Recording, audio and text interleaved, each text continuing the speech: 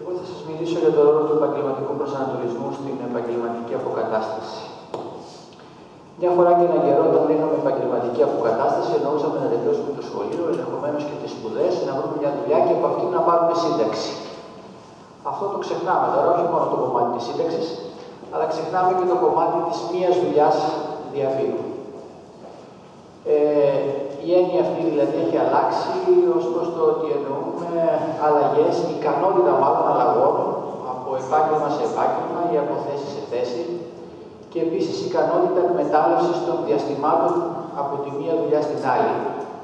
Γιατί όταν μιλάμε για διαβίω μάθηση, μιλάμε και για περιόδους κατάρτισης. Δηλαδή, φεύγουμε από μια δουλειά, ψάχνοντας να βρούμε μια επόμενη, ενδεχομένως εκμεταλλευόμαστε αυτό το διάστημα για να βελτιώσουμε λίγο τις γνώσεις μας, τις δεξιότητές μας, τις ικανότητές μας, μαθαίνοντας κάτι επιπλέον.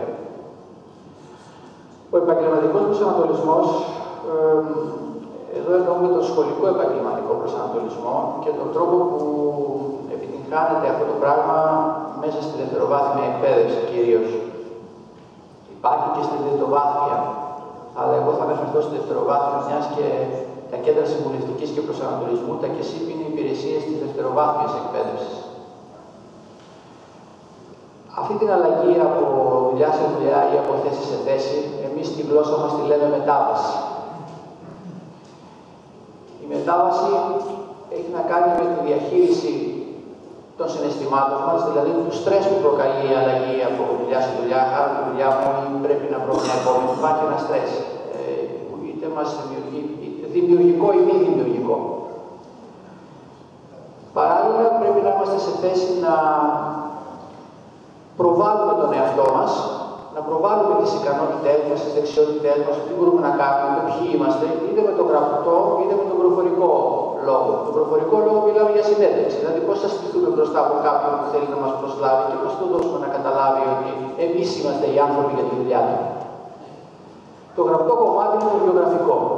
Πώς δηλαδή θα γράψουμε σε ένα κομμάτι χαρτί αυτό που είμαστε, αλλά κυρίως αυτό που ενδιαφέρει έναν εργοδότη. Προϋπόθεση της μετάβασης είναι να μπορούμε να πάρουμε αποφάσεις. Υπάρχει τεχνική με την οποία παίρνουμε αποφάσεις, λήψη απόφασης λέγεται, τεχνικές λήψεις απόφασης. Και χρειάζονται να ξέρουμε τις προσδοκίες μας, τι περιμένουμε ε, από εκεί που θα πάμε, να έχουμε κάποιες επιλογές μπροστά μας και να μπορούμε να αξιολογήσουμε αυτές τις επιλογές με κάποια κριτήρια. Προϋπόθεση του να πάρουμε απόφαση είναι να έχουμε καλή πληροφόρηση. Αυτό σημαίνει πού θα ψάξουμε, ποιες είναι οι πηγές, πού θα ψάξουμε να βρούμε αυτό που μας ενδιαφέρει, δηλαδή τη δουλειά ή τις θέσεις οι οποίες είναι κατάλληλες για μας και πώς θα διασταυρώσουμε την πληροφορία που έρχεται, γιατί σήμερα το διαδίκτυο διευκολύνει μεν στο να βρούμε πληροφορία, αλλά δεν μας διευκολύνει στο να την αξιολογήσουμε. Έχουμε δηλαδή τέτοια ποσότητα πληροφορίας που δυσκολευόμαστε να ξεχωρίσουμε τι είναι χρήσιμο για μας στη συγκεκριμένη συγκυρία και τι δεν είναι. Η πληροφόρηση, για να το ξεχωρίσουμε δηλαδή αυτό, ποιο είναι το χρήσιμο για μας, πρέπει να ξέρουμε ποιοι είμαστε, αυτό που λέμε αυτογνωσία. Η αυτογνωσία έχει να κάνει με το να γνωρίζουμε τα ενδιαφέροντά μας, τις εργασιακές μας αξίες, τις ικανότητές μας και ποιες από αυτές μπορούμε να εφαρμόσουμε στην πράξη ως δεξιότητες. Αυτή είναι η στόχη του σχολικού επαγγελματικού προσανατολισμού. Αυτό δηλαδή που ο θεσμός του σχολικού επαγγελματικού προσανατολισμού προσπαθεί να κάνει στα σχολεία μας, κυρίως στις δευτεροβάθμιες εκπαίδευση. Για να το κάνει αυτό λοιπόν, έχει ως υπηρεσία που το στηρίζει τα κέντρα συμβουλευτική και προσανατολισμού. Είναι υπηρεσίες του Υπουργείου Παιδείας, οι οποίες ιδρύθηκαν το 2000. Υπάρχουν σε όλες τις διευθύνσεις δευτεροβάθμια εκπαίδευσης. 79 λειτουργούν σε όλη τη χώρα. Η Ελευσίνα, το κέντρο στο οποίο υπηρετώ εγώ, καλύπτει όλη την δευτεροβάθμια εκπαίδευση της Δυτικής Αττικής. Υπάρχουν αντίστοιχα σε όλες τις διευθύνσεις απευθυνόμαστε σε μαθητές όλων των τάξεων γυμνασίου και ηλικίου, σε γονείς και κηδεμόνες, σε καθηγητές της δευτεροβάθμιας εκπαίδευσης που εφαρμόζουν το σχολικό επαγγελματικό προσανατολισμό μέσα στο σχολείο, γιατί προφανώς για να μάθει κάποιος τον εαυτό του. Για να μπορεί με βάση αυτή τη γνώση να ψάχνει πληροφορίες που αφορούν το επαγγελματικό του μέλλον. Για να μπορεί να τις αξιολογεί και να παίρνει αποφάσεις. ώστε να μπορεί να πηγαίνει από κατάσταση σε κατάσταση. Αυτό δεν γίνεται με. Είναι μια δουλειά η οποία θέλει χρόνος. Δηλαδή πρέπει να καλλιεργηθεί στη διάρκεια της σχολικής ζωής. Μετάβαση εμείς βέβαια δεν εννοούμε μόνο από δουλειά σε δουλειά, εννοούμε και κάθε αλλαγή κατάστασης από μια προηγούμενη σε κάποια επόμενη. Μετάβαση ήταν όταν που το πήγαμε στο σχολείο, που ειδικά τις πρώτες μέρες προτιμούσαμε το σπίτι, τη μητέρα μας ή τη γιαγιά μας που δεν μας χάλαγε ποτέ χαρτίδι. Μετάβαση είναι να πάμε από το δημοτικό στο γυμνάσιο, από το γυμνάσιο στο λύκειο. Το λύκειο κάθε χρόνο έχει μια μετάβαση γιατί έχει να κάνει με επιλογές. Από την πρώτη στη δευτέρα ηλικία ο μαθητής μας, ο έφηβος, πρέπει να κάνει επιλογές κατεύθυνσης. Το ίδιο και από τη Δευτέρα στην Τρίτη. Μετάβαση είναι το τέλος του σχολείου και η μεταδευτεροβάθμια είναι το βάθμια εκπαίδευση.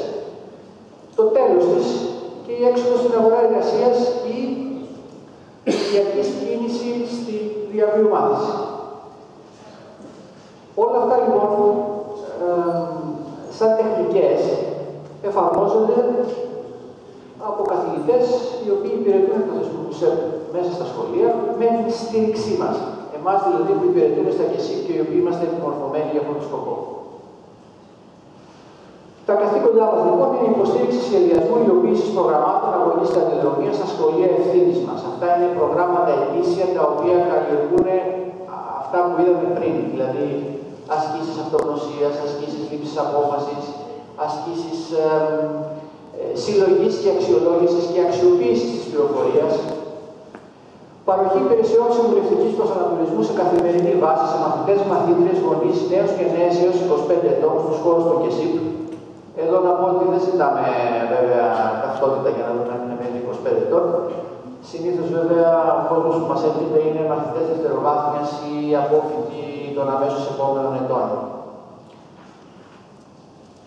Αυτό για να δούμε τον καθένα δηλαδή ξεχωριστά και να δούμε τις δικές του ανάγκες. Ενημέρωση μαθητών, μαθητριών και καθηγητών σε θέματα που αφορούν τις μεταβολές στο σύστημα της εκπαίδευσης, επάλευα στα συστήματα εξαγωγής στην τριτοβάθμια, τα οποία αλλάζουν τα τελευταία χρόνια εξαιρετικά συχνά και είναι και δύσκολο να το παρακολουθήσει κανείς, διότι αυτό βέβαια δεν ισχύει μόνο για την εκπαίδευση. Η νομοθεσία που αφορά την εκπαίδευση μπορεί να βρίσκεται σε οποιοδήποτε νόμο. Χαρακτηριστικά να πω ότι το τελευταίο, η τελευταία νομοθεσία που αφορούσε τις, ε, τον τρόπο εισαγωγής των πολυτέκνων και των τριτέκνων βρισκόταν στον νόμο για τις λαϊκές αγορές, ως λοιπέ διατάξει. Ε, αντίστοιχα, ε, σε, κάποια, σε κάποιο άλλο νόμο που αφορούσε το νέο εκπαιδευτικό σύστημα, οι λοιπέ διατάξει αφορούσαν δασμού σε προϊόντα φρέσκου γάλακτος, γιαούρτια και τέτοια πράγματα. Εκπόνηση ενημερωτικού υλικού για τους μαθητές και τους καθηγητές που περιλαμβάνει τη σύνθεση ενημερωτικών φυλαδίων και παρουσιάσεων που αφορούν την παραπάνω θεματολογία. Εκπόνηση και εκτέλεση ευρωπαϊκών δράσεων και προγραμμάτων με σκοπό να έρθουν σε επαφή μαθητές και καθηγητές με τα ευρωπαϊκά κεκτενόμενα στον χώρο της εκπαίδευσης και της αγοράς εργασίας. Και έχουμε συγκροτήσει ομάδα η οποία αυτή τη στιγμή μελετάει και υποβάλλει προγράμματα Erasmus Plus κινητικότητα φοιτητών και καθηγητών, ώστε να επιτρέψουμε και σε συναδέλφους να επισκεφθούν το εξωτερικό και να δουν πώς γίνονται εκεί τα πράγματα, αλλά και σε μαθητές. Η υλοποίηση και εφαρμογή εκπαιδευτικών δραστηριοτήτων σε συνεργασία με σχολεία της περιοχής ευθύνη μας στα πλαίσια δράσεων που περιλαμβάνουν διοργάνωση εκπαιδευτικών επισκέψεων για μαθητές και των συνεργαζόμενων σχολείων σε χώρους εργασίας και τριτοβάθμια ιδρύματα, δηλαδή στα πλαίσια του μαθήματος του σχολικού επαγγελματικού προσανατολισμού ή των προγραμμάτων. Μπορούν να συγκροτηθούν ομάδες μαθητών που προτείνουμε να πάνε να επισκεφθούν χώρους εργασίας και εταιρείες ε, ή και πανεπιστήμια για να αποκτήσουν εκεί μια εικόνα του τι θα βρουν μετά το τέλος του σχολείου. Στενή επαφή και συνεργασία με φορείς της τοπικής κοινωνίας, δήμους, νομαρχίες, επιμελητήρια, μέσα μαζικής ενημέρωσης, σχετικούς φορείς με επαγγελματικό προσανατολισμό, καθώς και με γραφεία διασύνδεσης στα ανώτατα εκπαιδευτικά ιδρύματα. Κάθε τριτοβάθμιο ίδρυμα, ΑΕΛ, έχει ένα αντίστοιχο γραφείο σαν το δικό μας, που κάνει περίπου αυτή τη δουλειά. όπως για παράδειγμα μελέτες απορρόφησης, ε, απορροφητικότητας των αποφύτων αναειδικότητα. Αυτά και σας ευχαριστώ για την προσοχή σας.